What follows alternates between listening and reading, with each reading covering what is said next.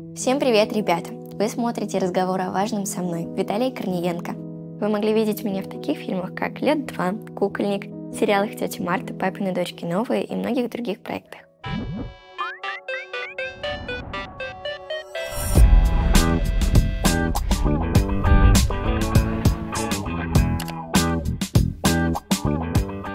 А вы уже задумывались о своем будущем и о том, каким оно будет?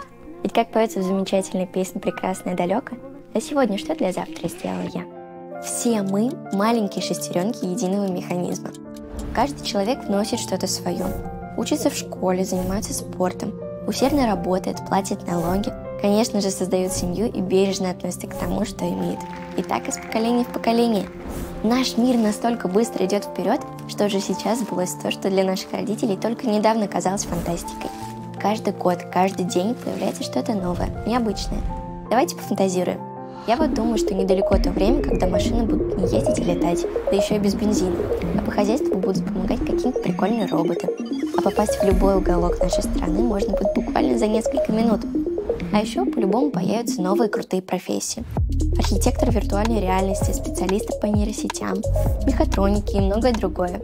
Меня вот на интервью часто спрашивают, кем я стану. Они редко даже еще советуют, куда мне лучше пойти учиться, после какого класса. А я, я сама о чем мечтаю. Да, я выбрала направление, в котором бы я очень хотела реализоваться. У меня много друзей, кто совсем не понимает, по какому пути они пойдут после школы. Мне кажется, такое у многих подростков. Очень сложно в 15 или 17 лет выбирать занятия на всю жизнь. К счастью, в современном мире можно не ограничиваться выбором лишь одной профессии. Сейчас столько возможностей. Можно получить несколько образований, посещать интересные курсы, мастер-классы и многое другое. Знаете, многие люди даже в 40, в 50 не боятся пробовать себя в чем-то новом. Как там почтальон Печкин говорил? Я только жить начинаю, на пенсию выхожу. Но мы с вами не на пенсию выходим, а только в школе учимся. У нас все впереди.